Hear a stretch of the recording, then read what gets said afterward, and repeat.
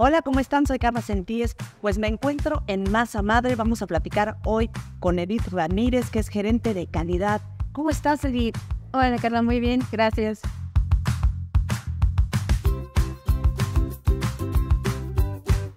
Oye, estamos muy contentos de estar aquí. Mira qué delicia, ¿eh? Así es, estos productos tan deliciosos.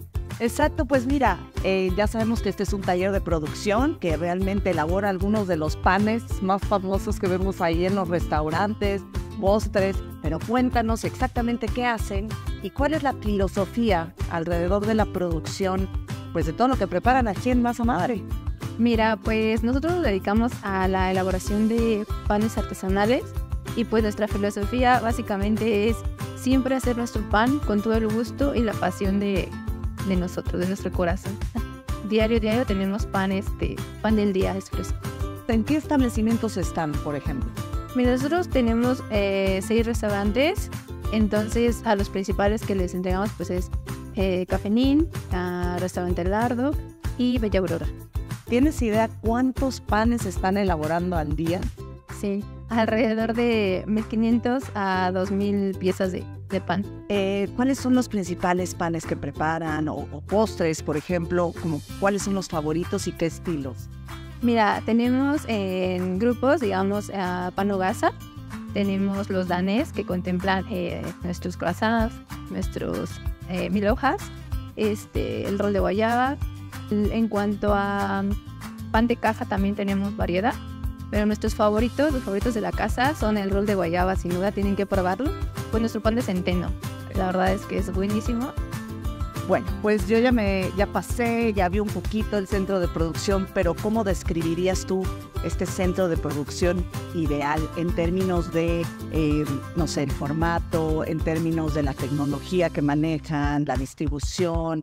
Mira, aquí tenemos un sistema de calidad documentado y eh, equipos eh, importantes, como lo es una lavalosa, una máquina lavalosa eh, marca Winterhalter.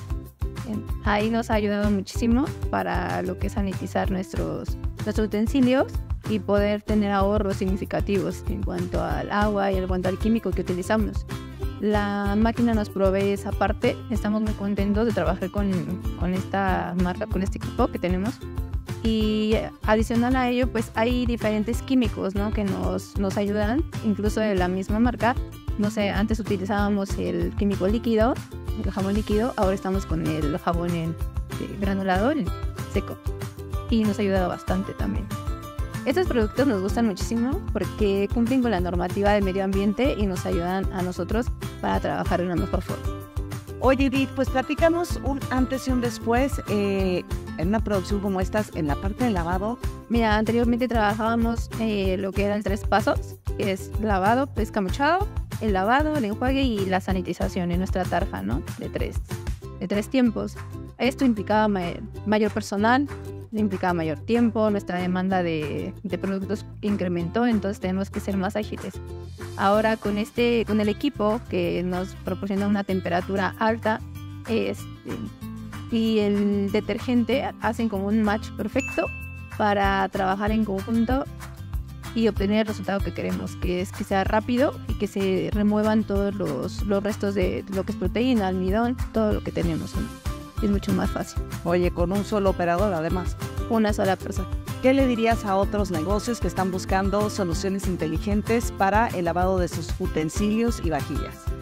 Estamos muy contentos de trabajar con esta marca, de trabajar con sus productos y pues que pueden confiar en ellos. O sea, la normativa, la 51 nos establece cierta temperatura, la cual alcanzan los equipos, no hay ningún problema y pues los recomendamos ampliamente. Oye, pues muchísimas gracias por recibirnos. Tú y yo nos vamos a echar ahorita un. Vale, sí, está bien. Pues gracias a ustedes.